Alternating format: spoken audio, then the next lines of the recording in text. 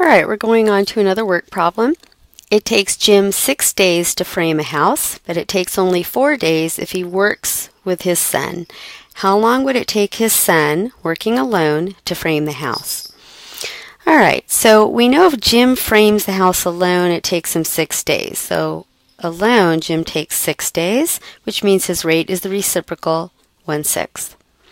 Now his son does it tell us how long it takes his son to do it alone? No, that's our variable. So let's call that x. We don't know how many hours that is. And his rate then is the reciprocal. So if it takes him x hours, I'm, I'm sorry, if it takes him x days to complete something, he gets 1 xth of the job done per day, which is the reciprocal 1 over x. Now, what we know is instead they're going they can get the whole job done in 4 days if they work together. So, we want that they're only going to work for 4 days since they're going to work together to get the whole job done.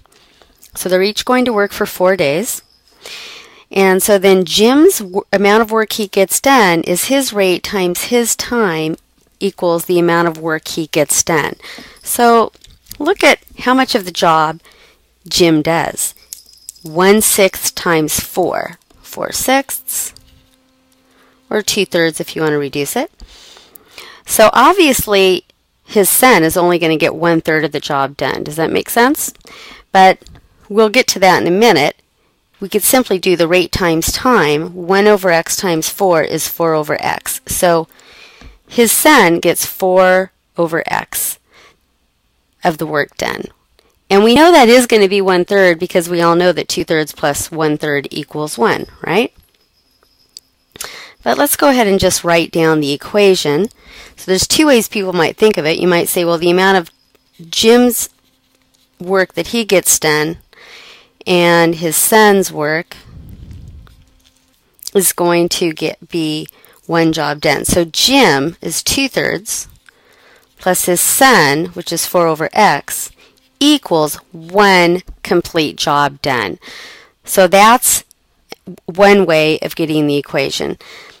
Somebody else might say, well, if Jim got two thirds of the job done, then I know 4 over x equals one third, and they might write this equation 4 over x equals one third, using a little bit different kind of reasoning.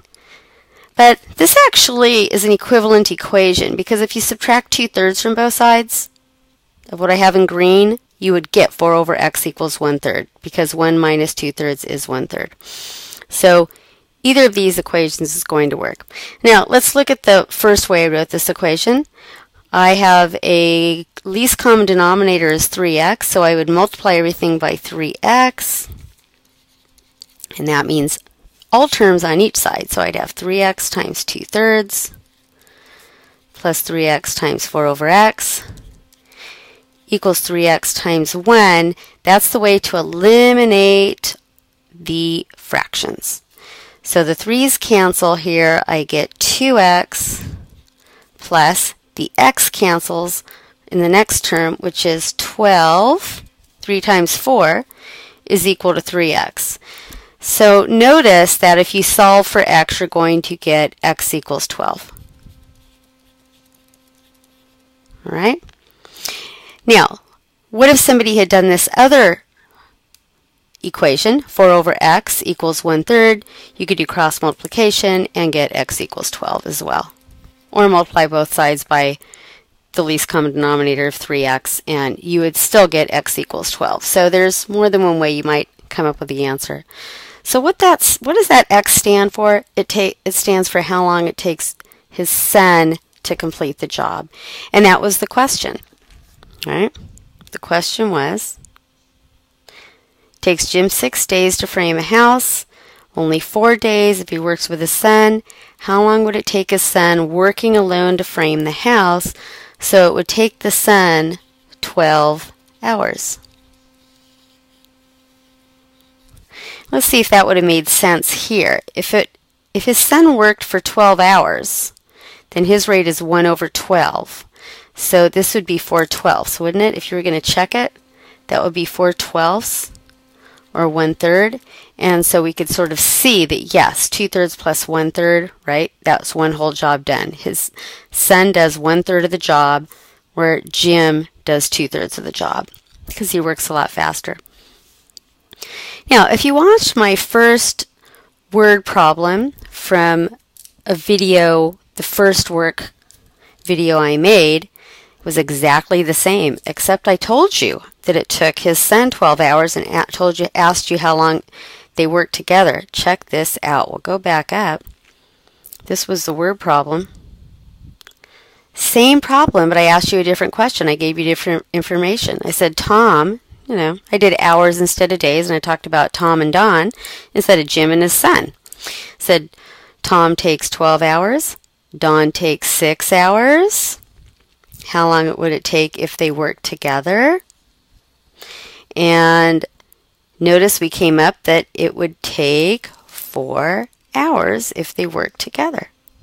Kind of interesting by taking the same problem and giving you different information. This time I was asking how long the person who was slower would take. In this problem, I didn't say how long Tom took.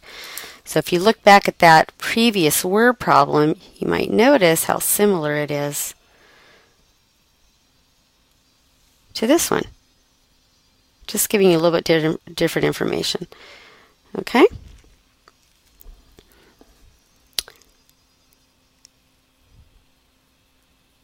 Alright, so you can go on to the next video for another work problem.